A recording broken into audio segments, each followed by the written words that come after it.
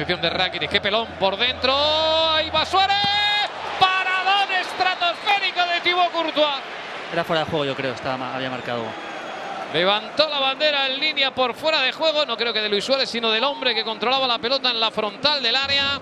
Ahí vemos la acción repetida. En el momento del pase, efectivamente, fuera de juego.